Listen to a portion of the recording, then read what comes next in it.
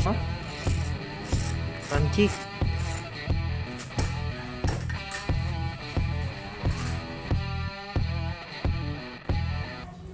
So, what's up guys? Ah, atong buhaton karon kay mag lechon kawali ta. Ano yung mga ingredients sa lechon kawali? So,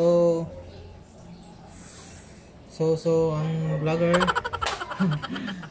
so, muna yung kan, latan sa nato siya para mo gamay ang karne.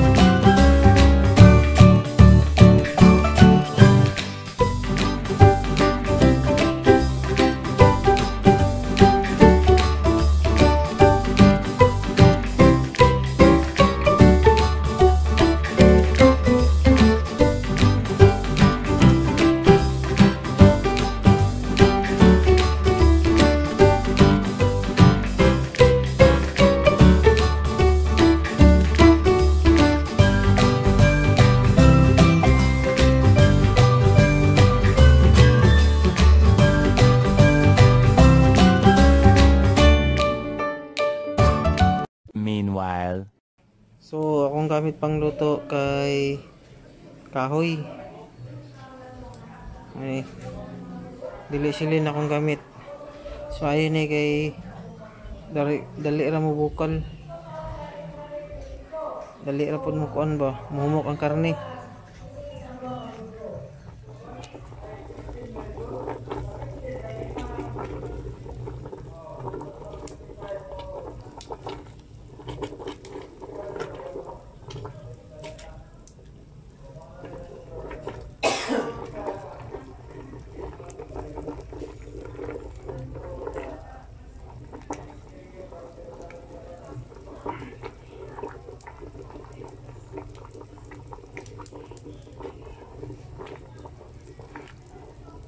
One hour later. Uh, bago na ako siyang gihaon sa kono, gipabukalan. So, ato sa ning pabugnawon mga 3 minutes. Nya atong pahiran din og asin bago nato pritohon. Alright.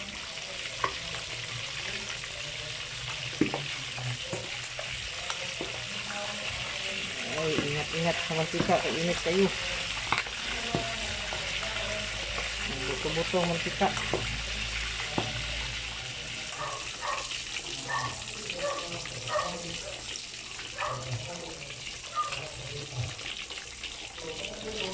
So, mao na niyang ay ah, color. So, na natong paglunod. So, pagpasensyahin niyo ang background music ay inay nagsimba sa likod. So, ato sa ni siya ipa-cool down.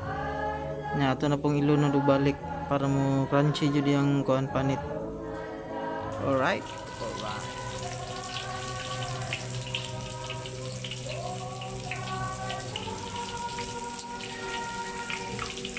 Three hours later.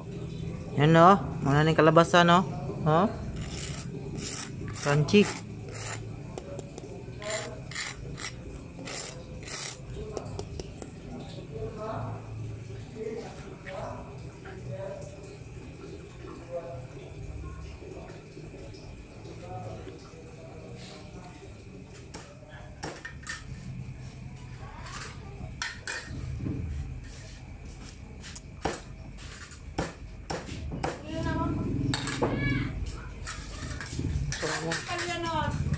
Ang ang titad-tad yahay pa namon ni gikan ni USA. Gikag USA.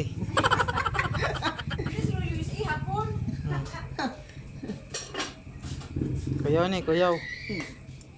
So, muna atong kalabasan sa atong litson kawali.